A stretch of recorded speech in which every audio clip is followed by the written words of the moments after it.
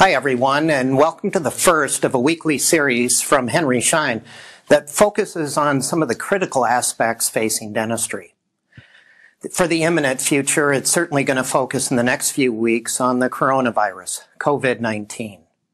We have also partnered with OSAP, the Organization for Safety, Asepsis, and Prevention for Dentistry, whose theme is every dental visit is a safe one.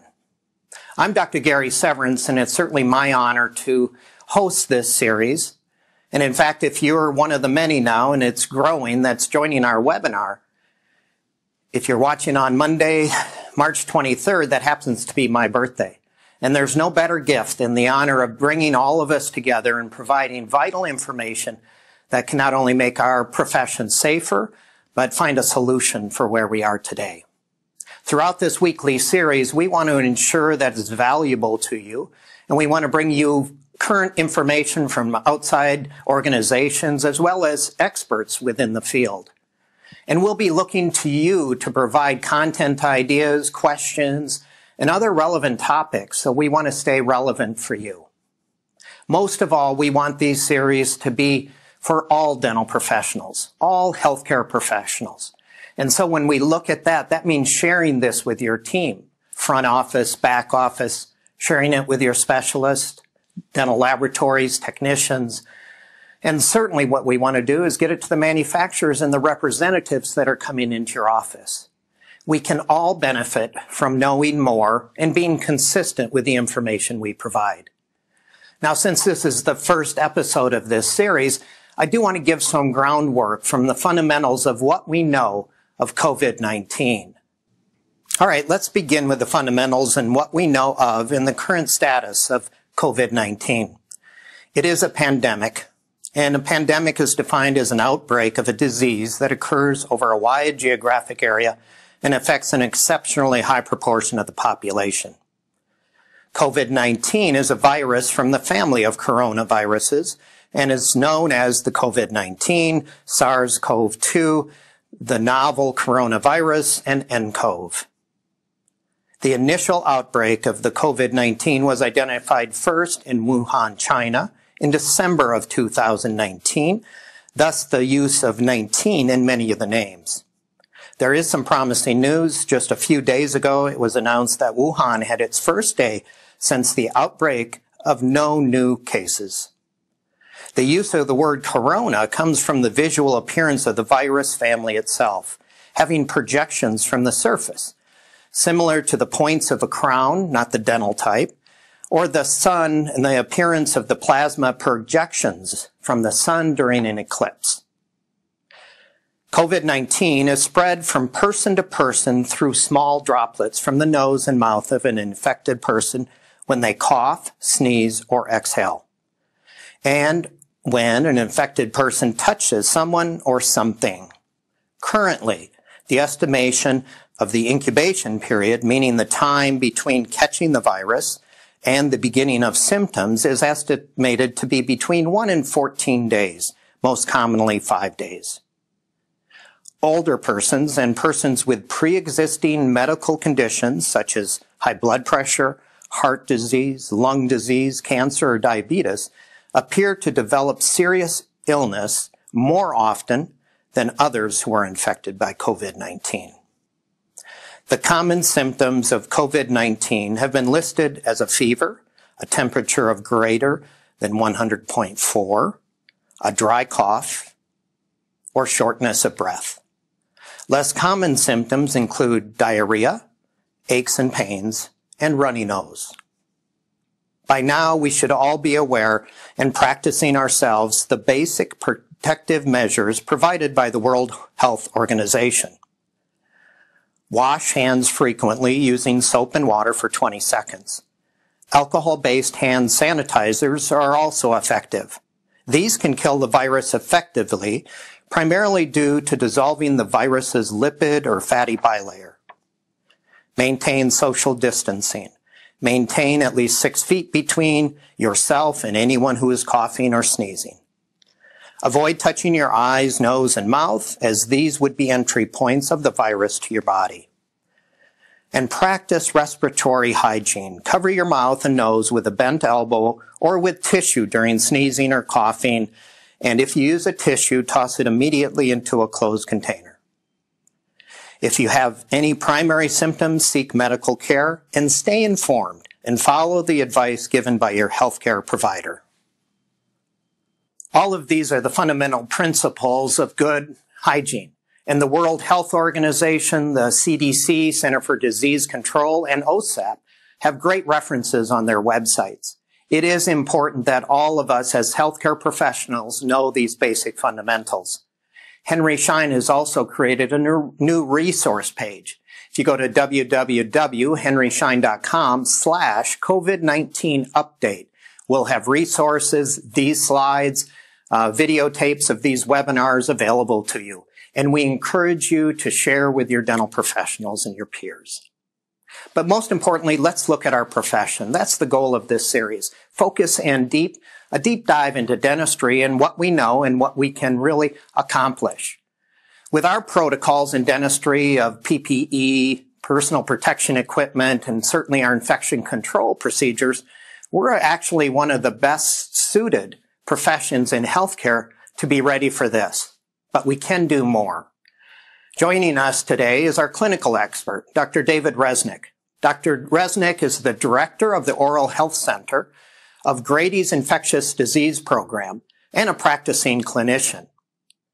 What can we do to make our practice and our patients safe during this pandemic? I'll turn it over to Dr. Reznik. Dr. Reznik, welcome. Uh, thank you, Gary, and thank you for this opportunity to share some of the knowledge that we have seen in the dental profession. My name, as Gary said, is Dr. David Reznik. I'm director of the Infectious Disease Program's Oral Health Center at Grady Hospital in Atlanta, and also chief of dental medicine. Um, I've been working with people living with HIV for the last 30 years, and I hope that some of the lessons we've learned from that epidemic will help us through today's pandemic. Of all the medical professions, dentistry has always been at the lead when it comes to providing personal protective equipment and instituting standard precautions. We know that there are bloodborne pathogen precautions that we've been taking for some time, and now we're actually looking at some airborne precautions but it's a great time for us to review some of the basic information for the entire team. Things that will help your patients, things that will help your staff and the team stay healthy as we try to deal with this new disease. One of the first slides that I'd like to talk about today is, is something that um, Gary already mentioned, which is social distancing. I sort of like to refer to this as physical distancing. Socially, we really do need to maintain contact with one another, as there are several communities throughout our country and different parts of the world where people are now at home. And so we do need to stay in touch with each other, but we also should try to stay a good six feet away when in person. So how do I keep my dental office safe? There's certain things that we maybe didn't think so much of at the beginning, such as cleaning the outside doorknobs and other surfaces that are touched by patients on the way in. Looking at light switches, cabinet handles, front desk areas, maybe putting up a sign on your front desk that says, please don't lean over. It's time to toss those waiting room magazines, some of which are new, some of which might have been there for some time, and really truly be able to wipe down the hard surfaces in the waiting area. When patients do present with a dental emergency at this point, offer hand sanitizer at the front desk so people can do can provide their own personal protection. Screen patients over the phone before they get there. There are certain questions that can be asked that will eliminate some of the risk to you and your team. So if somebody has a cough, a fever greater than 100.4, shortness of breath. These are some of the symptoms that you might want the patient to stay at home and try to offer whatever assistance you can via teledentistry or by the phone. Dentistry is, as I said, has always been in the forefront of infectious diseases, and it started a long time ago with the HIV pandemic. But now good sterilization practices are honestly more important than ever. And we always should focus on that because we always want to provide the safest visit for our patients. Always wear your PPE. Make sure your mask is covering your nose and your mouth. If you're doing anything that involves splatter, please make sure you have a shield on and your glove on and your gowns on. And if it is an aerosol generating procedure, anything that might involve a high speed handpiece, please make sure that you wear an N95 respirator. This will actually offer more protection and also protect our colleagues, protect your lab team. Uh, make sure that you disinfect your impressions and your cases before sending them on once we're at that place. Minimize your chances for exposure. Instruct your patients to call ahead and reschedule appointments adhere to standard and transmission based precautions. And again, as I previously mentioned, when it comes to aerosol generating procedures, take special precautions. Use N95 respirators, and hopefully they are available in, in addition to your normal personal protective equipment. Since N95 masks are very difficult to find and there is a shortage, please wear a surgical mask over it to protect it from any kind of splatter or any kind of, of, of, of mess. The American Dental Association has come out with a series of recommendations, and one of them is that they recommend that we postpone nationwide elective dental procedures for the next three weeks. So we really need to concentrate on emergency care for those patients that present with dental emergencies. For many parts of our country prior to this pandemic, emergency departments were being overwhelmed by non-traumatic dental emergencies. This gives us our role. We can help take care of patients in pain and do it safely and protect our resources in our emergency departments, which are being overwhelmed. The guidance may change as the COVID-19 pandemic progresses. According to the association, dentists should use their professional judgment in determining a patient's need for urgent or emergency care. Really should focus on conditions that require immediate attention to relieve severe pain and or infection and alleviate the burden of our hospital emergency departments. There is a list of emergency procedures that are on the screen in front of you. Of course, things like severe dental pain would be one, including pulpal inflammation, pericoronitis for third molar pain, um, de- dealing with dry socket issues that a patient might present with, abscesses and local bacterial infections, fractures of teeth that might be soft tissue um, trauma inducing, and also other forms of dental trauma, including avulsion and luxation. And you can also put on temporary restorations if, if we're having gingival irritation.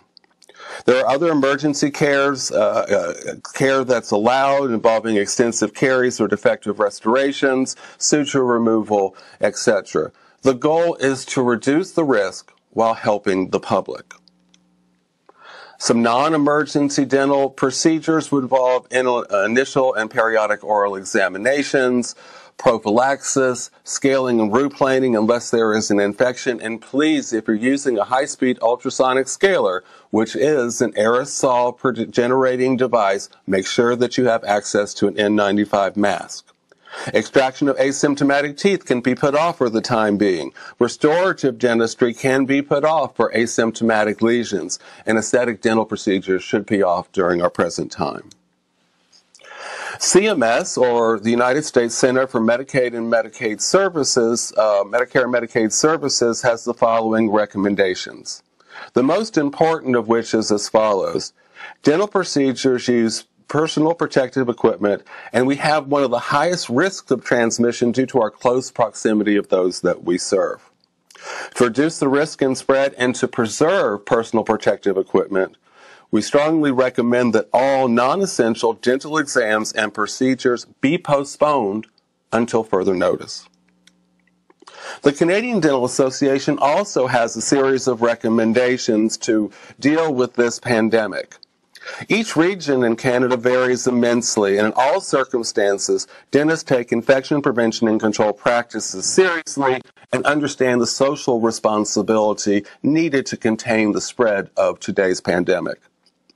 While science provides uh, solid recommendations about what dentists should and should do, the Canadian Dental Association suggests, given the rapidly evolving COVID-19 situations, dentists licensed to practice in Canada are asked to consult the website and communiques of all the dental regulatory bodies in their province and territory, as well as the website and communiques of their provincial and territorial dental associations. So what's the latest? This is an ever-changing pandemic. It's important for all members of the dental team and your families to stay informed to protect each other and those we provide service to. The new coronavirus is stable for hours on surfaces. The NIH recently published a study in the Journal of, of, the New England Journal of Medicine showing that on certain surfaces, this virus can live for hours or up to days. It's detectable in aerosols for three hours, and one would expect that the aerosol could possibly transmit about six feet. It's detectable on cardboard for 24 hours and detectable on plastic and stainless steel for up to two to three days. So wiping down all surfaces that have been in contact is really important and follow the manufacturer's instructions on the, on the uh, disinfecting wipes that you're using. Thank you, Dr. Reznik, for that vital clinical information. We look forward to your contributions each week. One of the interesting points was using a, another mask to cover the N95 mask to maybe maximize its utilization since it may be in short supply. I know a lot of organizations are looking at ways and thinking of new ways to use the PPE equipment effectively and maximize the safety. Now what we've done is put together a very basic program with some slides that you certainly have access to and then some vital clinical information with slides that is more up to date. We want to get all through this together, so you are more than welcome to utilize this content, the video, any of the slides, or any of the documents we created. They'll be up on the Henry Schein site dedicated to the COVID-19 update. I also want to let you know that on that site is a document that's critical at this time, and it's a temporary closing checklist, meaning if you've already closed, or if you're planning to close your office, um, make sure you go through this list, download it and go through it. What it is is to make sure that you've shut down everything properly.